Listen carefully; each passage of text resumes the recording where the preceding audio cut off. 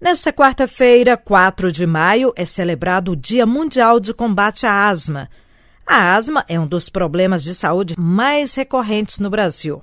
Em 2021, foram realizados 1 milhão e 300 mil atendimentos na atenção primária à saúde, a porta de entrada do brasileiro ao SUS, o Sistema Único de Saúde, de acordo com informações do Ministério da Saúde. O número corresponde a aproximadamente 231 mil consultas a mais que no ano anterior. Para dar mais assistência a pacientes asmáticos, o governo federal lançou em março de 2022 a linha de cuidados de asma. Ela está disponível online para orientar pacientes, gestores e profissionais de saúde sobre o fluxo de atendimento para a doença no SUS. Além disso, o Programa Nacional de Controle ao Tabagismo orienta a atuação profissional nas unidades da atenção primária. O Brasil conta ainda com a teleespirometria para suporte ao atendimento de pessoas com doenças pulmonares crônicas.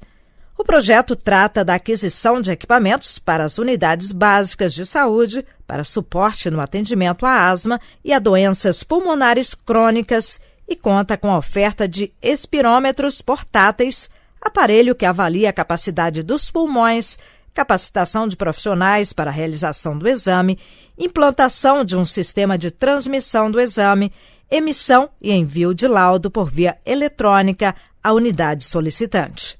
Da Rede Nacional de Rádio em Brasília, América Melo.